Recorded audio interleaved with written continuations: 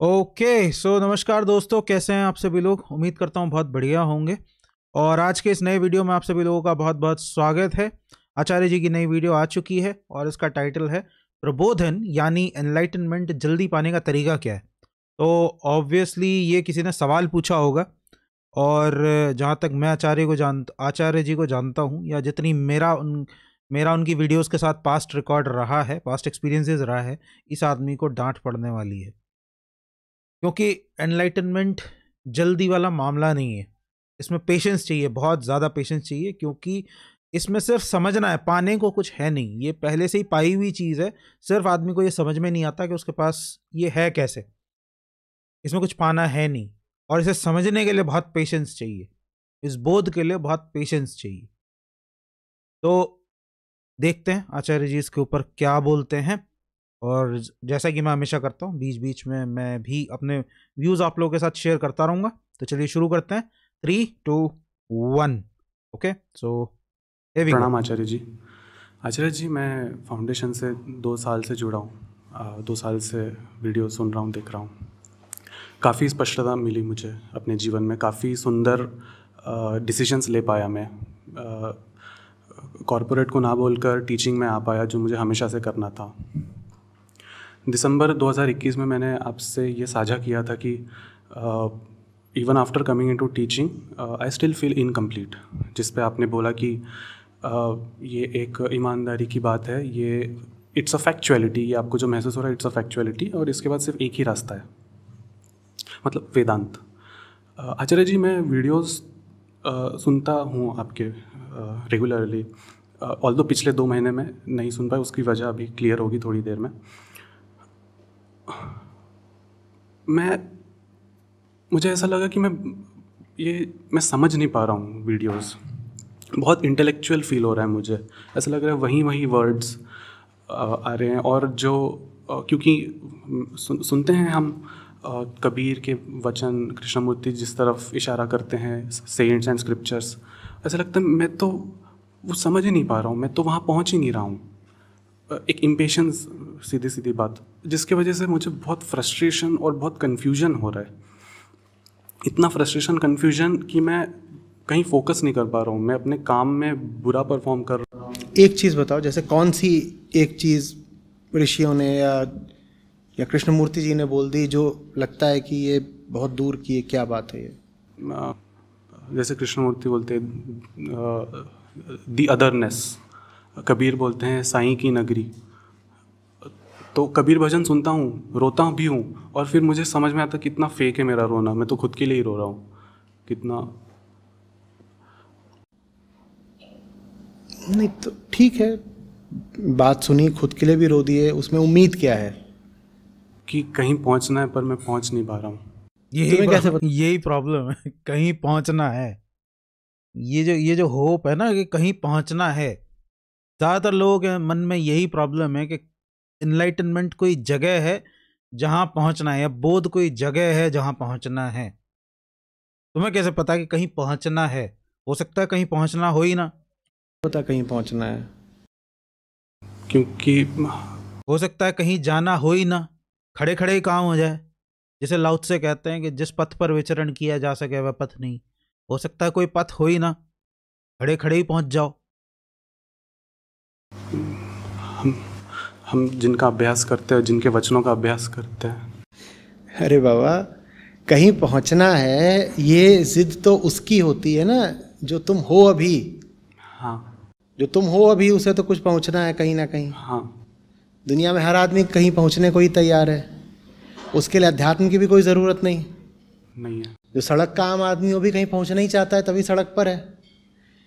किसी को अपने करियर में कहीं पहुँचना है धंधे में पहुँचना है अपने व्यक्तिगत जीवन में कहीं पहुँचना है। सबको पहुँचना है।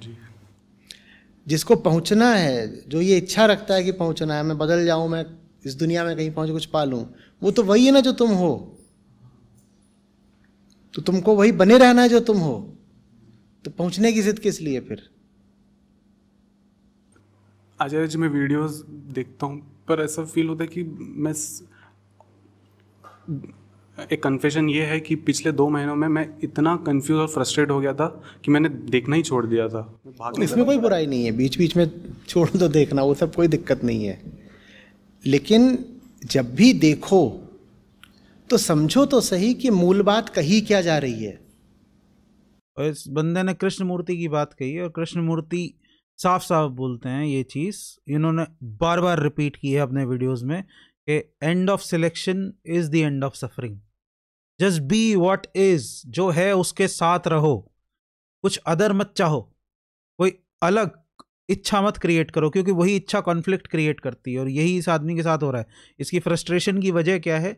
कि ये कुछ अदर चाह रहा है, कोई और चीज़ चाह रहा है। जी दी अदरनेस जिसको कृष्णमूर्ति इसी आदमी ने ही बोला था, वो बोलते हैं कई बार दी अदरनेस की बात करते हैं। वो अदरनेस क्या है कि जो है उससे हट के तुम कुछ और इच्छा बना रहे हो। जो है उसके साथ जीने को तैयार नहीं है। तो कॉन्फ्लिक्ट क्रिएट होता है और उससे फ्रस्ट्रेशन क्रिएट होती है। मैंने तो इतना बोला है कि वो सब कुछ देखा जा भी नहीं सकता। अभी उस दिन वो बैठ के हिसाब लगा रहे थे कि अगर कोई व्यक्ति प्रतिदिन एक घंटे भी देखे तो उसको तीस साल लग जाएँगे देखने में। जो आज तक बोला गया है।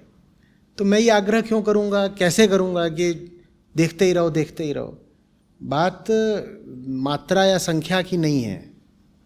बात गहराई की है। हा? कुल हमारा उद्देश्य इतना है कि हमको दुख दर्द में नहीं जीना भाई। यही है ना? सीधा सिंपल। यही और तो कुछ होता नहीं। मतलब पहाड़ चढ़ना तो अध्यात्म का उद्देश्य नहीं है। नहीं है ना? अध्यात्म का एक सूत्रीय उद्देश्य होता है क्या? दुख से कष्ट से सफरिंग से मुक्ति, मुक्ति। और तो कुछ भी नहीं। सीधी सी बात। हम्म। फिर आगे हम कहते हैं कि सफरिंग और सफरर एक ही चीज़ के दो नाम है। दुख और सफरिंग और सफरर जिसे कृष्णमूर्ति बोलते हैं ऑब्जर्वर इज़ दी ऑब्ज़र्व इसे ये बोल रहे हैं आचार्य जी बोल रहे हैं सफरिंग और सफरर दुख और दुख पाने वाला दोनों एक ही हैं अलग अलग नहीं है। जैसे ऑब्जर्वर दृष्टा ही दृश्य है कृष्णमूर्ति की भाषा में।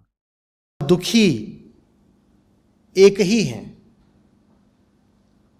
माने जो मैं हूँ वही मेरा दुख है। अभी अभी नॉर्मल आदमी ये मान के चल ये उसका ऐसा मानना है कि दुख कोई अलग चीज़ है और मैं दुख से कुछ अलग हूँ। दुख कोई अलग चीज़ है और मैं दुख भोगने वाला हूँ पर असल में दुख और दुख भोगने वाला दो अलग नहीं है, वो दोनों एक ही हैं। वो दोनों एक ही हैं, ये मज़े की बात है। और इतना ही समझना है बस। इस चीज़ का ही रियलाइजेशन बस काफ़ी है। इतना समझ लो, इतने में हो जाएगा। और इसके लिए तरीका भी बहुत सिंपल बताया। जय कृष्णमूर्ति ने और कुछ नहीं कहा। जय कृष्णमूर्ति ने सिर्फ़ इतना कहा है कि जस्ट बी वॉट इज़ जो है, उसके साथ रहो। और तुम ये देख लोगे कि दृष्टा ही दृश्य है। दुख भोगने वाला और दुख दोनों एक ही है। आचार्य प्रशांत उसे उसे ही बोलते हैं कि सही काम चुनो अगर तुम्हें सही काम चुनो और सही काम करो अगर तुम इस दुख से मुक्ति चाहते हो तो। रोगी ही रोग है। यस पर रोगी कहता है मैं तो बना रहा हूँ रोग हट जाए। वही आप चाह रहे हो? आप बने रहोगे तो रोग कैसे हटेगा? सारी कंफ्यूजन यहीं पे क्रिएट होती है हा? आदमी के अंदर। आप कॉर्पोरेट छोड़ के आ गए लेकिन कॉर्पोरेट में जो चाहत होती है कहीं पहुँच जाने की कुछ बनने की कुछ बिकमिंग की जो चाहत होती है लेट मी बिकम समथिंग वो चाहत आप अध्यात्म में भी ले आए। कॉरपोरेट वाले भी कुछ बनना चाहते हैं आप भी कुछ बनना चाहते हो। तो आप वही रह गए ना जो आप हो।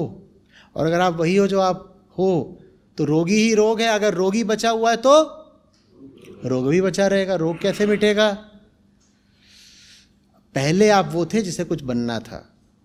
अब वो हो जाओ जिससे कुछ नहीं बनना। कुछ नहीं बनना। हाँ, सीधी कुछ नहीं बनना। इस दुनिया में एक चीज़ से दूसरी चीज़ बन के भी क्या मिल जाना है? कुछ नहीं बनना। जो कुछ बना बैठा हूँ उसी से तो मुक्ति चाहिए। कुछ अब अतिरिक्त नहीं बनना है। हम्म? अतिरिक्त नहीं, बनना है का मतलब क्या है? कोई नई इच्छा पैदा नहीं करनी है, इसका मतलब ये है, कोई अपोजिट क्योंकि इच्छा हमेशा अपोजिट की होती है। जो है, उसके उसके विपरीत की इच्छा होती है हमेशा। इच्छा ही विपरीत है।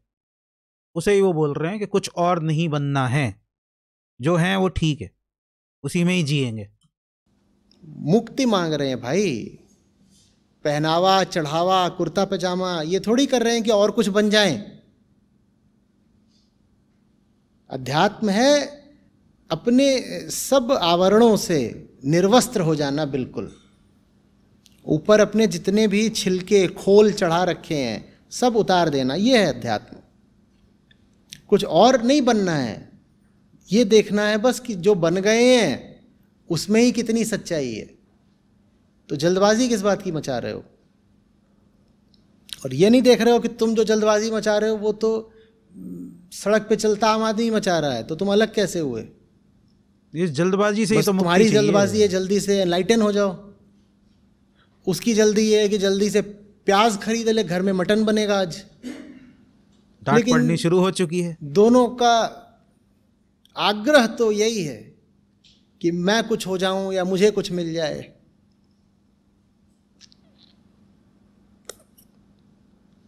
छोड़ दो कहीं नहीं पहुँचना है। किसी प्रोजेक्ट पे थोड़ी लगे हुए हो? मिशन एनलाइटनमेंट कुछ नहीं है। शांत सहज बातें हैं। कबीर भजन सुन के आँखों में आँसू आ गए। तो उसमें को चीरफाड़ की ज़रूरत नहीं है कि आँसू क्यों आ गए। क्या मैं अपने लिए रो रहा हूँ? क्या मैं पड़ोसी के लिए रो रहा हूँ? क्या मैं सड़क कुत्ते के लिए रो रहा हूँ? मैं किसके लिए रो रहा हूँ? अरे उन्होंने एक बात कही तुम्हारी आँखें भर आई। हो गया? और तुम्हें कहाँ घुस रहे हो? अच्छा जी ऐसी इच्छा होती है कि ऐसा माइंड में एक एजेंट बना के रखा है जो ऑब्ज़र्व एनालाइज करेगा उसको कि उसको ही मार दो। मतलब मैं सुसाइड की बात नहीं कर रहा हूँ हाँ। कि वो कि हम ऑब्ज़र्व एनालाइज कर रहे हैं बार बार बट कहीं पहुँचने की ऑब्जर्वेशन में कोई दिक्कत नहीं है पर ऑब्जर्वेशन निष्पक्ष होना चाहिए ना। ऑब्जर्वेशन पर्पसफुल नहीं हो सकता। सोदेश्य अवलोकन करोगे तो मारे जाओगे। जो तुम खुद को देखते हो सेल्फ ऑब्जर्वेशन है वो पर्पजलेस होना चाहिए उसमें निष्पक्षता होनी चाहिए सकाम नहीं होना चाहिए वो। अनबाइज उसमें कोई कामना नहीं छुपी होनी चाहिए। बस देख लिया। बस देख लिया। देखने से मिला क्या? वो हमारा झंझट नहीं है जानना। हमारा क्या काम था? बस देख लेना। देखना हमने देख लिया ऐसा हुआ है। नहीं पर देखने से कोई लाभ भी तो हो वो लाभ वगैरह सोचना हमारा काम नहीं है। हमने क्या किया? ये ला, लाभ की बात आपकी ग्रीड करती है। जब भी आप ये बोल रहे हो ना कि कुछ मिल जाए इससे इस ऑब्जर्वेशन से कुछ मिल जाए फिर आप ग्रीड के चक्कर में फंसे जा रहे हो लालच के चक्कर में फंसे जा रहे हो। देख लिया। बस देख लेना काफ़ी। मूर्ति की आप बात कर रहे हो वो इसको बोलते थे चॉइसलेस अवेयरनेस क्या बोलते थे? चॉइसलेस चॉइसलेस अवेयरनेस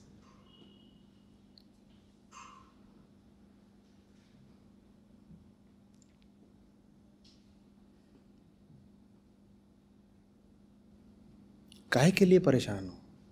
अच्छा जी मुझे ऐसा लग रहा मैं मैं समझ नहीं पा रहा हूँ। तो समझने को है ही नहीं। कुछ है ही नहीं ना क्यों कोशिश ऐसा वे पागल आदमी क्यों कोशिश कर रहा है समझने की? आचार्य जी भी इसको यही समझाने की कोशिश कर रहे हैं समझ मत। बस जो है उसके साथ रह। ये जो समझने की इच्छा है ये समझना भी क्या है? ये एक इच्छा है अपोजिट इच्छा है कि समझ के मानूँगा। और वही बेचैनी क्रिएट कर रही है, वही फ्रस्ट्रेशन कर रही है इस आदमी के अंदर। छोड़ दे, समझने को कुछ है नहीं। छोड़ दे भैया। देखो, झूठ प्रत्यक्ष है। सच कोई ऐसी चीज़ नहीं इसको समझ सको। तो समझने में इतनी गुत्थी कहाँ है? जो जिसको आप झूठ बोलते हो, माने जो संसार का प्राकृतिक चक्र है, वो तो सामने ही है, जो चल रहा है उसको देख लो। उसमें कहाँ तुम फंस रहे हो कि बड़ी कोई गहरी, जटिल बात समझ में नहीं आ रही? उसमें कोई जटिलता है ही नहीं। आदमी को पैसा चाहिए, स्त्री को पुरुष चाहिए, पुरुष को स्त्री चाहिए। हमें ईर्ष्या होती है, हमें भूख लगती है, हमें कामना होती है यहाँ से वहाँ पहुँच जाएँ। सबको बड़ा बनना है, सबको सम्मान चाहिए। इसमें समझने की क्या बात है? ऐसा तो है ही सामने। और इससे हट करके इसके अतिरिक्त प्रकृति के विधान में और कुछ होता नहीं। यही तो सब चलता रहता है ना। यही चक्कर मिलना बिछुड़ना पसंद नापसंद आकर्षण विकर्षण राग द्वेष यही है। इसमें समझना क्या ये तो प्रत्यक्ष है दिख ही रहा है। हर चीज़ जोड़े इंसान भी यही कर रहा है जानवर भी यही कर रहे हैं। इसमें जटिलता क्या है? यही तो खेल है। ऐसा डर बना रहता है कि मैं ऐसे ही मर जाऊँगा और कुछ मैंने तो हो सकता है ऐसे ही मर जाओ उसमें क्या है? मर जाओ तो दिक्कत हो ही सकता है। अभी बाहर निकलो मर जाओ बिल्कुल हो सकता है। मैं यहाँ बैठा हूँ या ऊपर ये एसी है यही मेरे ऊपर गिर पड़े मर जाऊँ बिल्कुल हो सकता है उसमें क्या है? मर गए तो फिर मरी गए जो मर गया वो मर गया अब उसकी क्या परेशानी है?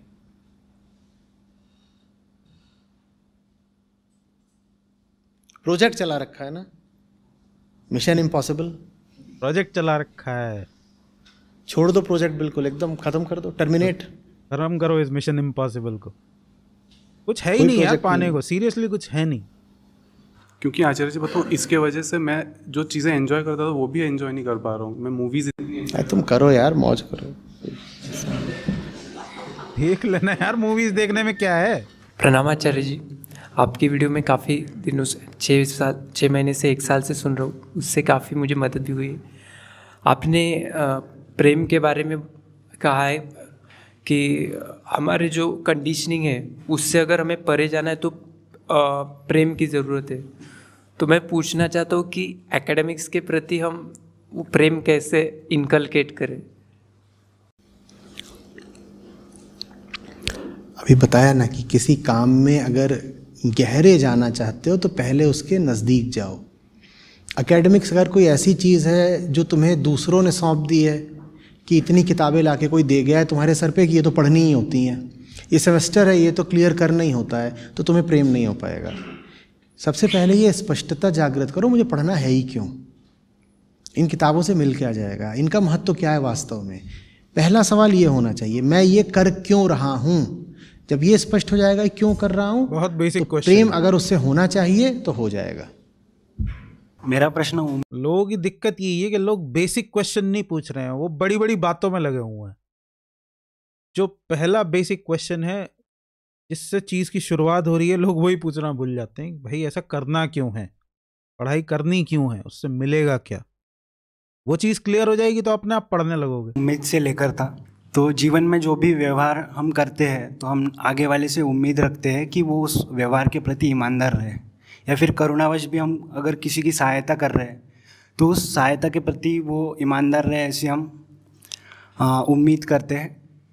लेकिन आ, मतलब मैं मैं अपने जीवन में आ, जिसकी सहायता किया हूँ मेरे साथ ऐसा हुआ है कि आ, एक दोस्त मेरे पास आया था तो मैंने उसने मुझे बोला कि अ, मतलब मेरी माता जी जो है वो उनको कैंसर हो गया है ये सब। अ, तो मैंने उन, उनकी बात मान ली और करुणावश मैं उनको पचास हज़ार रुपये दे दिया। उसके बाद मुझे कुछ समय बाद पता चला कि उन्होंने जो है वो नशे में वो सब पैसा उड़ा दिया। तो मुझे मतलब अंदर से बहुत निराशा हुई कि मैं मतलब धोखा खा गया। तो ये उम्मीद जो है मैं ख़त्म नहीं कर पाता। भले किसी की सहायता भी कर रहा हूँ या अपने जो स्वार्थ के वश कोई व्यवहार कर रहा हूँ, लेकिन उम्मीद रहती है। तो उस उम्मीद के वजह से मतलब टूटने की वजह से बहुत निराशा होती है।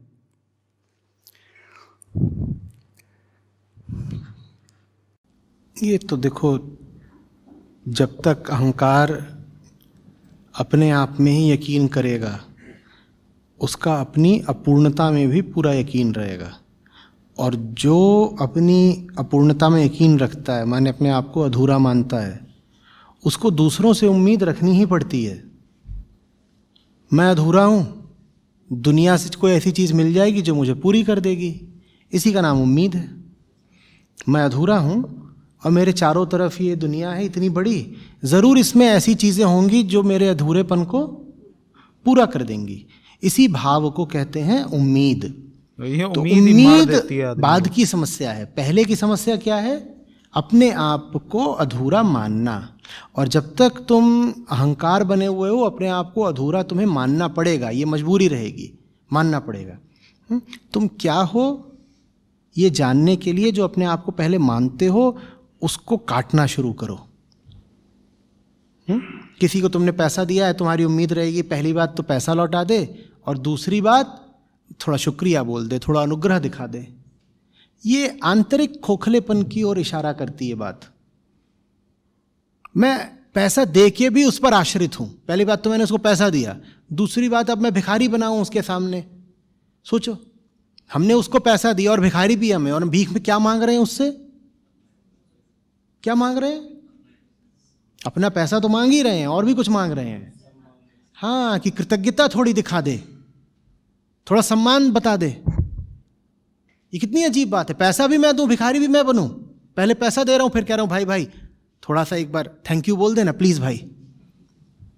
ये कितनी अजीब बात है ना?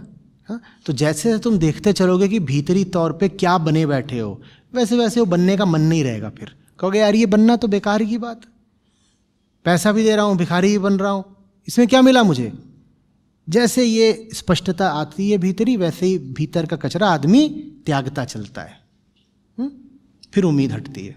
लेकिन उम्मीद ऐसी हो कि उसमें मेरा स्वार्थ ना हो मैं सामने वाले से ऐसा नहीं होता ऐसा कुछ नहीं होता। जहाँ अपना स्वार्थ नहीं होता वहाँ स्वयं को चोट नहीं लगती। चिंता मत करो।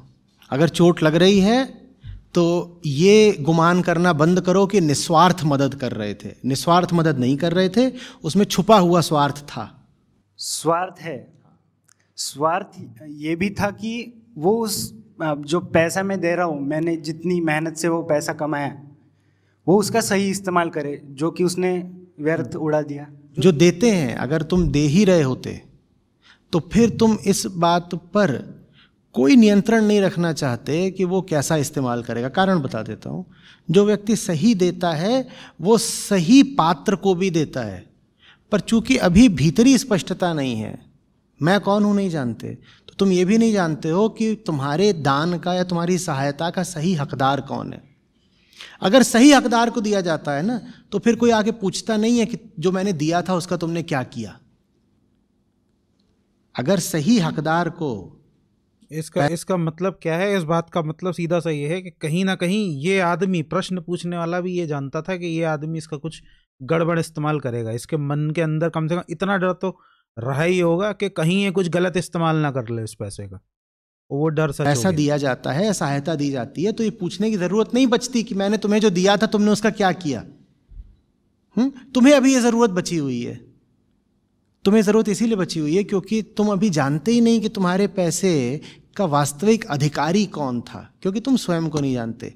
सारी समस्याएँ घूम फिर करके एक ही जगह आ जाती हैं, आत्मज्ञान। उसको ही आगे बढ़ाओ। ठीक है?